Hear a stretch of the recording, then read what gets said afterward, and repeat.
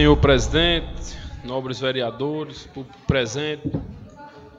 Senhor presidente, eu gostaria de, primeiramente, iniciar a ordem do dia falando de um assunto que será debatido e já vem sendo debatido, mas assim, eu tive semana passada com Vossa Excelência em Recife e as projeções do governo do estado, do pessoal da Secretaria de Agricultura, é de que esse próximo esse ano agora haverá a previsão é de grande inverno e que os próximos oito anos também a previsão é de que aconteça, vereador Freire, inverno constante, coisas que há muitos e muitos a gente tem sete anos de seca, mas eu acredito que tem mais de 50 anos que não se tem oito anos consecutivos de inverno.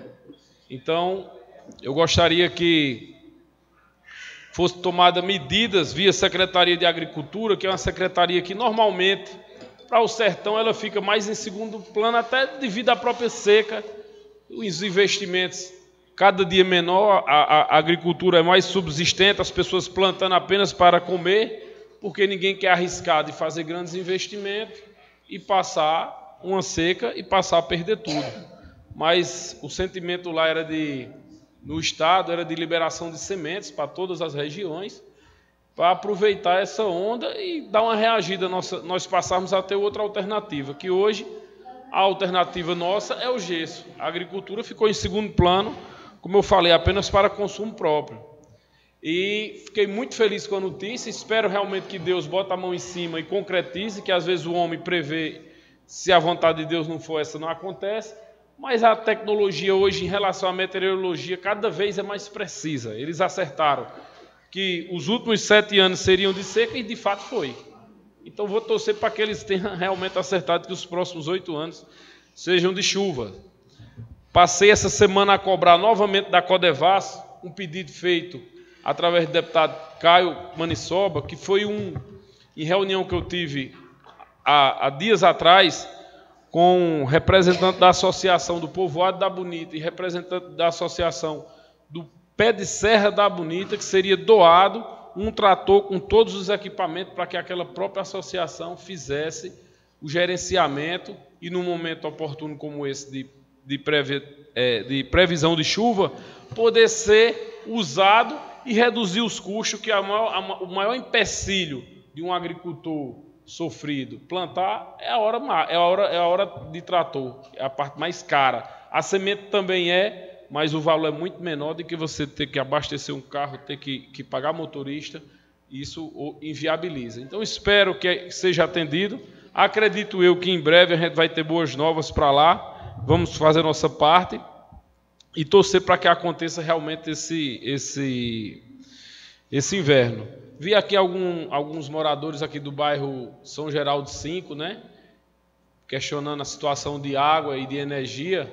E aproveitando, quero me referir também ao bairro São Geraldo 4, que passa também, também passa pela mesma, pela mesma situação e, e que nos últimos dias vem sofrendo devido a uma ação tomada pela Compesa, que tirou a água, mas não regularizou, né?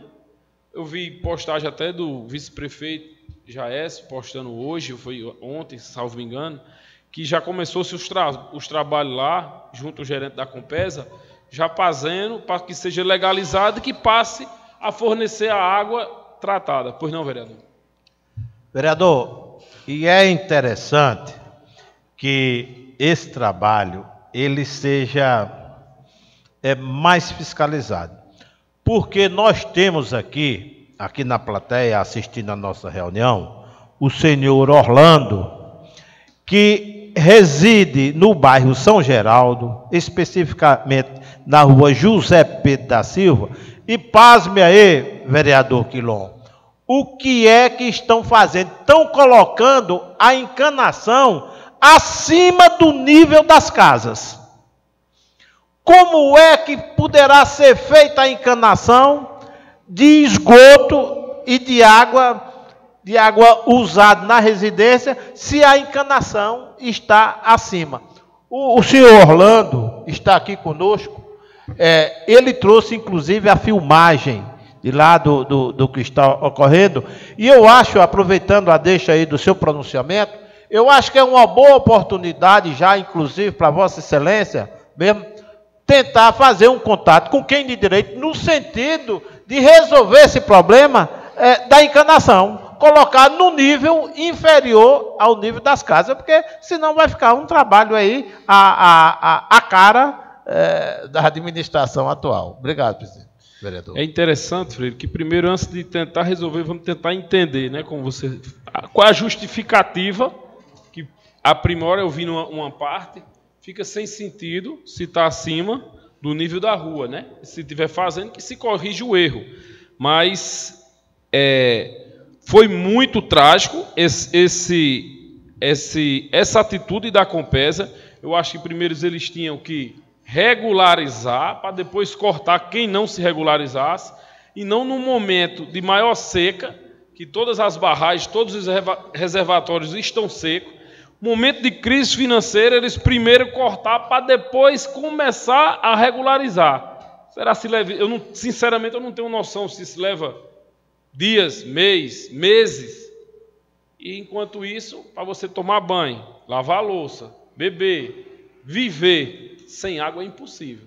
E muita gente desempregada, muita gente fora do mercado de trabalho e ter que pagar, ter que ter um custeio extra de água que é essencial no dia a dia. Então, realmente espero que, que a Compesa, inclusive, presidente, poderia sugerir, como, como mencionado pelo senhor vereador Freire, um, um, um ofício de forma expressa amanhã para o presidente da Compesa, tentando esclarecer esse assunto do senhor José, José Orlando, não é isso?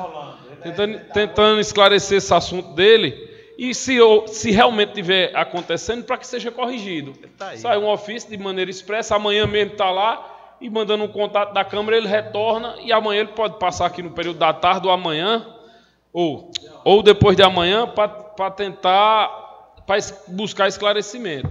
Mas contem comigo, o que eu puder fazer Estou solidário e estou à disposição, como tenho certeza que os demais vereadores. Mas sem água realmente é impossível de se viver. Meu muito obrigado a todos e uma boa tarde.